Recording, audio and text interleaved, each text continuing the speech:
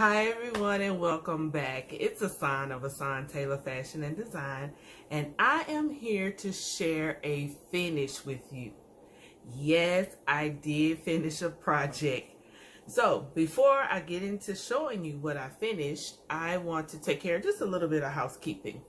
One, I want to thank all of my new subscribers and everyone that I've been having conversations with in the comments. It's, oh, the love I love it. Thank you all again. I try to follow you all back if I can. If I miss your comment, please charge it to my mind and not my heart. I'm just trying to keep up with all of the social media. Second, I want to send a special prayers to Darren of Dizzy Stitcher. Just know that my heart and my prayers go out to you, brother, and I hope all is well. Okay, so now let's get into my finished. So for Mother's Day, I decided to make my sister something for Mother's Day. And she has a wall of crosses. So I decided to cross stitch her a cross to add to her collection. And here it is. Can you all see it? Wait, is that wait, is that upside down? Okay, here we go. Here we go. Okay. it says faith. Faith. Ah, I'm excited. I'm excited. So it took me um, let's see, seven hours to complete this.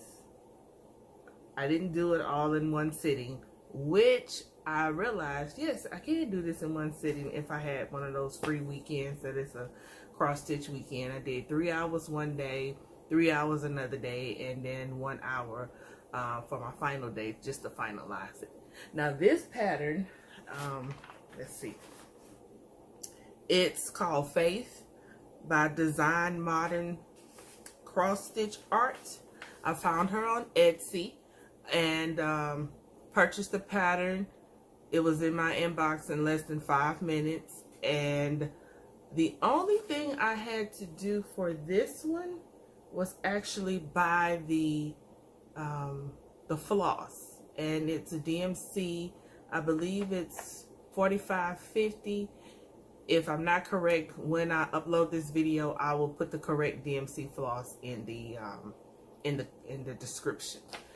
And I only used maybe half of the floss. I don't even think I used that much. It's 2 over 2 on a 14 count Aida. I enjoyed working with this 14 count Aida because I didn't need my glasses to see. It was, again, it was just a real easy stitch. The pattern was easy to follow. Um, you could choose to have it in a gray box or just the regular X's. Real simple, real simple. So I'm excited to go ahead and get this framed.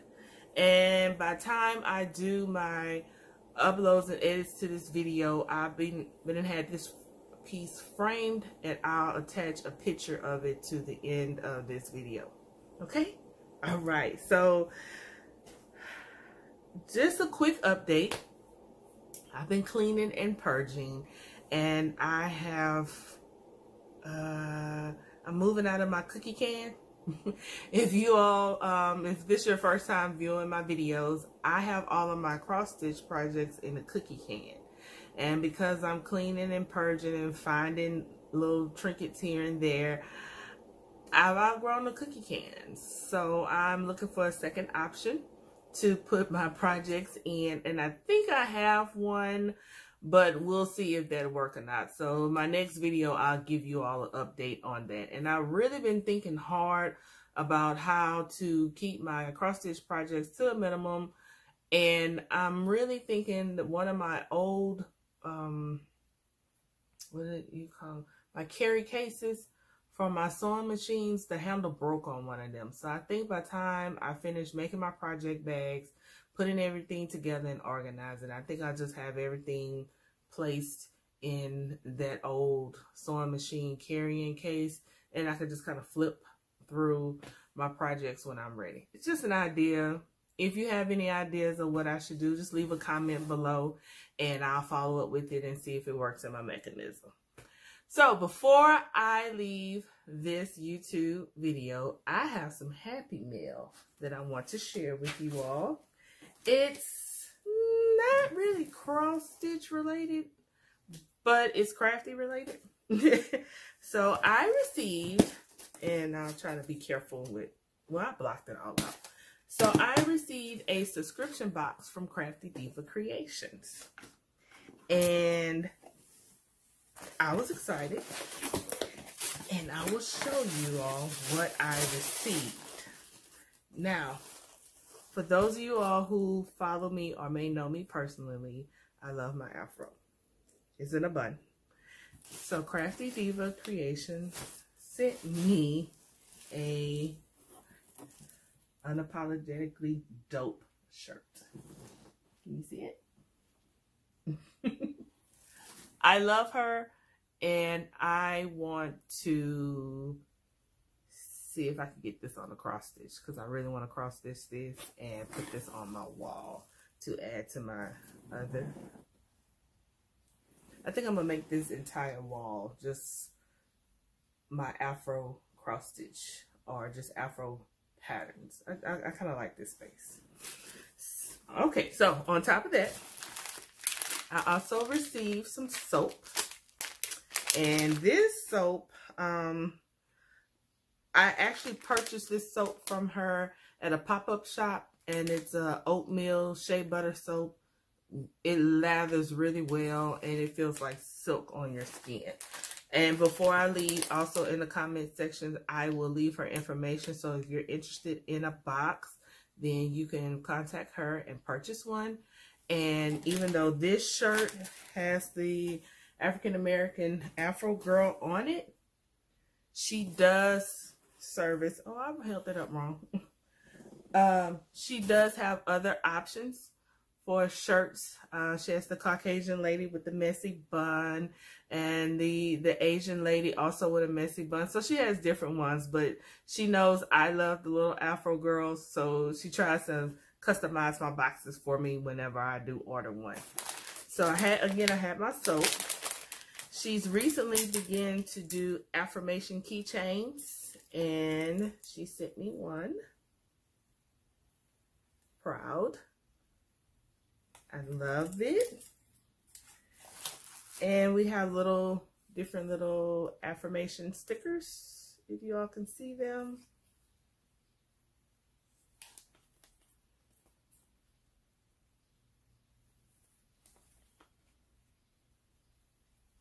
I love it. My planner is going to be full. Now, the highlight of this um, was the magnets that go in your planner. And they're all sewing tools.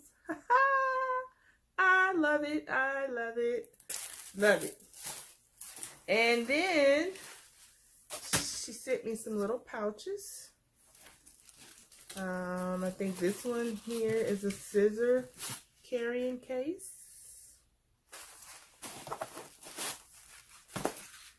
There's another Notions case. And here's the little pouch. So this box was actually a little special because it's Mother's Day and um, I am an aunt. I'm not a mother, but I am an aunt. So I'm I was excited. I when I put in my order for my subscription box for May, she told me, don't worry about it. She'll send me something special. So shout out to Craftie Diva Creations for my May 2021 subscription box. I love it. And for everyone else who's interested, I'll be sure to go ahead and leave a link to her pages in the description after this video. So that's it for me for today. I hopefully will be back with you all soon. I'm still, again, rethinking what I want to do as far as organization, again, as I purge, I'm studying finding old cross-stitch projects that I worked on. And it's almost time for me to go back to work. Shout out to Mary Ashcraft. I love the idea she has a stitching project that she keeps at work. And with me getting ready to go back to work full time after the pandemic and my office is being safe, we I, I commute. So I think I'm gonna need a project for my commute and to work and then something for me to work on while I'm at work during my breaks. So I'll look through some patterns that I've already purchased and I, I want to keep it small. I want to save my big ones for when I'm at home relaxing. And also Pam, Pam Crafty's Corner, I did see a uh, video from her a while back and I'm going to go back and revisit it where she did the PVC pipe um, lap stand. And I want to do that because I like the way that was able, she was able to pull it apart, fold it, and she's able to carry it with her when she's on the go. But my full coverage samples, um, I'm rethinking them. Not that I'm not wanting to do them, I'm rethinking how I can do a setup where I can just look over at it one evening while I'm watching the news and I can stitch on it and have it readily available in a nice neat spot. And I think that lap stand that she made may be suitable for the two full coverage pieces that I'm, I am currently working on. So I'll just keep you posted on that as I um, make progress on that. So until next time, Bye. And you all take care.